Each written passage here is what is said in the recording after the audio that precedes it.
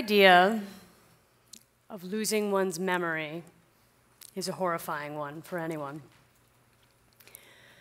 Certainly for anyone who has witnessed a loved one succumb to dementia, to see them gradually lose their sense of the past and then the present. I don't have to tell you how horrifying that is. But something else happens when you witness that experience. You think about yourself. And you wonder, what would it be like if I lost my own memory? And more specifically, I think you wonder, would I know it's happening?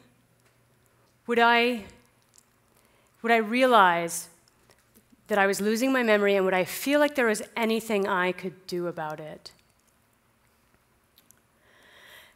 So I think that memory is to us as individuals what history is to us as, as a society. I, th- I think that we understand who we are as, part, as being part of a bigger group, and that's a group with a connected past. That's true for our identity as a nation, as a community, as a family. It's even true for our identity as a sports fan with an allegiance to a particular team. So, I, I, think a lot about history. I am a professional historian. I have a PhD in US history. So I think about how we teach history, how we learn it, how it uh, affects who we are as individuals and as groups. But I'm, I'm also a technologist uh, and an entrepreneur, so I don't work on the academic side of history. I work with the organizations that store and share our historical record to help them build better solutions uh, to connect the public with the stories that they protect. And I do this because I believe history is incredibly important to us as a society. And I believe that we are unknowingly letting it slip away. So, as a historian, I have access to this mostly unseen world, this world that contains the bulk of the information that we use to tell stories about the past. These are our primary sources, our documents, images, objects, a variety of materials that we use. Now, for centuries, archivists have carefully preserved our historical materials in archives. They've developed sophisticated cataloging systems so that we can locate materials uh, when we need them. As a society, we've made this investment for centuries because on a certain level, we know how important it is. Even if we don't interact with the materials directly, we know that without the information in these places, that serves as evidence of a sort, without this information, people in the future could simply make up whatever they wish to be true about the past. But here's the problem we don't go to places like this anymore for information. We don't go to archives. We certainly don't use card catalogs because we live in the digital age. And in the digital age, we mainly access information through the click of a mouse. So I know there are many terms for digital natives, younger people. I like to call uh, that generation of people that's, that has grown up accessing information this way, anyone under the age of, say, 20 or so, I call them Generation Click. Because to Generation Click, the world is digital. They run searches online and they form opinions and interpretations based on the information that they receive. Now, those of us who are only you know slightly older than Generation Click. Um, we understand this on a certain level. We understand that, that we now access information differently. Um, but I, I don't think that we fully understand how profoundly that truth will affect our future. And I think that's because we have an experience, a recollection of accessing information another way. So It's likely been a while since we cracked open a Britannica, but we, we have the recollection of information being made available someplace else. We live at a transition between one era and the next, where we used to do things one way, and now we do things another. But Generation Click didn't used to do something another way. For them, the world is digital. Here's this other thing about Generation Click and all who come after them. They assume when they search for information online that they are searching the world of information. And in fact, they are searching the world of information that has been made available to them in such a way that a search engine can find. So, in many cases, that information is a minuscule percentage of the information that's out there. So, if we will only access information online through web searches, what does that mean for the vast majority of our historical information that still lives in places that look like this. There are our political papers, our records, wrapped, rolled up maps or films stuck in archives. We believe, as we have for centuries, that, that these materials hold value. If we believe that they'll continue to hold value in the future, then it's absolutely critical that they get moved to the digital in order to remain relevant. And the organizations that house this history. So those are, are, are our libraries, our museums, our historical societies, those organizations that fail to effectively make that transition, they risk becoming obsolete. And then there's the very real possibility that a sizable portion of our history could become invisible. Um, so I'm here today to say that we are not doing that. We are not effectively making the transition of the vast majority of our historical record from the physical to the digital. And perhaps more alarmingly, in many cases where we think we're doing it, we aren't doing it correctly. I believe that this is a result of uh, our general lack of understanding about how search engines work and our acceptance um, that, that that knowledge, the understanding of how search engines work, that that is actually critical to our forming a new way of cataloging our historical record. So, how do search engines work?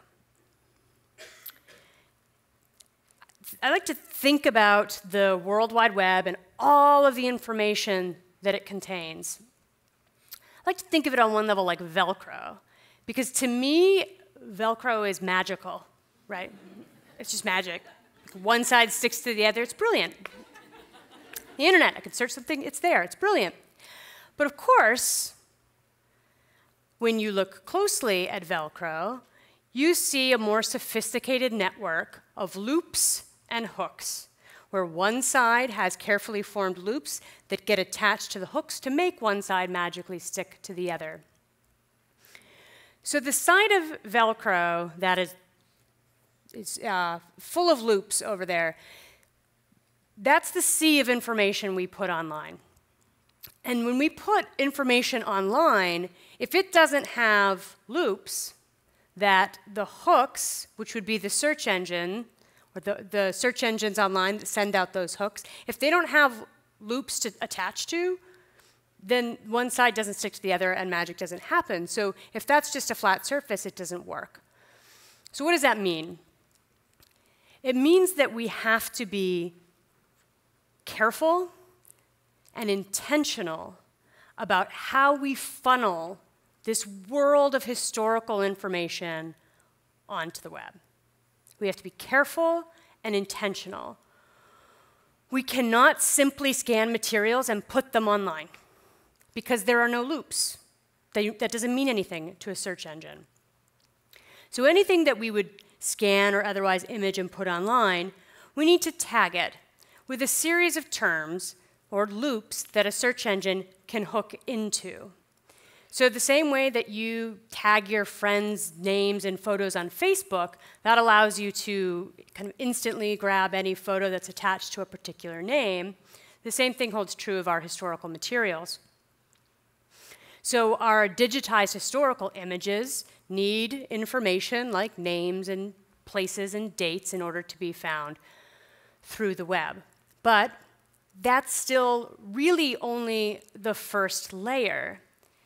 Because if you think about it, if I search for information online, if I search someone's name, I already know that that person exists. So I'm looking to see what's out there about something. We have to get much more detailed at the level of information we're recording for, for search engines to find meaningful results.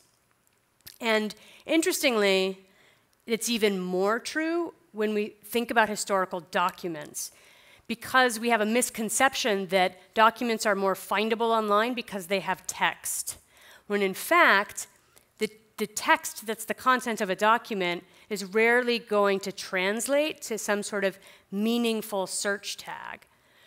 So we need subject tags that are attached to every historical record we place online in order for them to be found through different kinds of online searches. So in this example, we have our Emancipation Proclamation. This is the document in which Abraham Lincoln declared that all slaves shall be free. It's an important document from our past.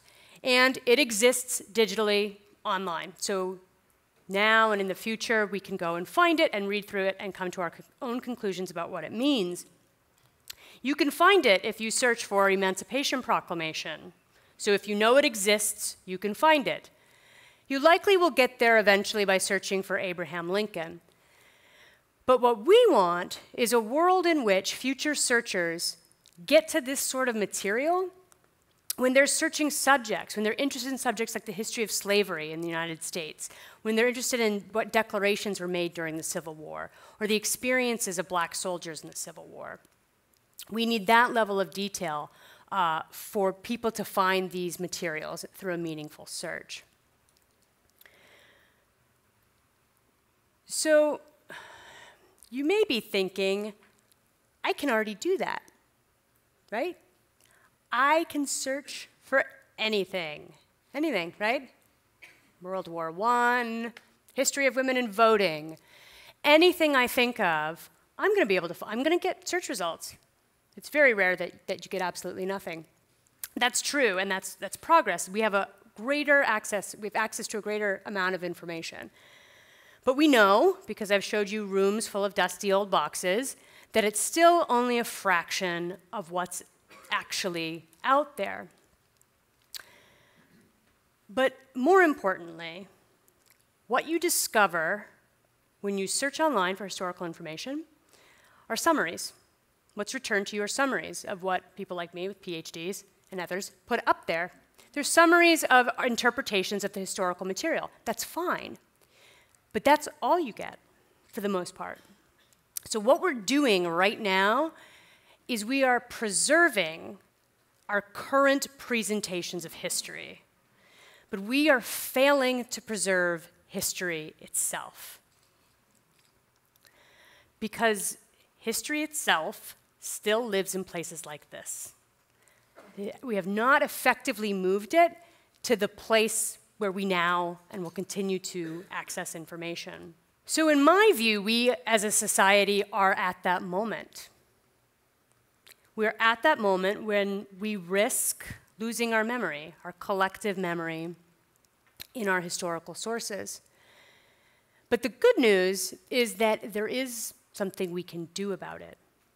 We can choose to prioritize making these materials actually preserved digitally and meaningfully for the long term, for the future.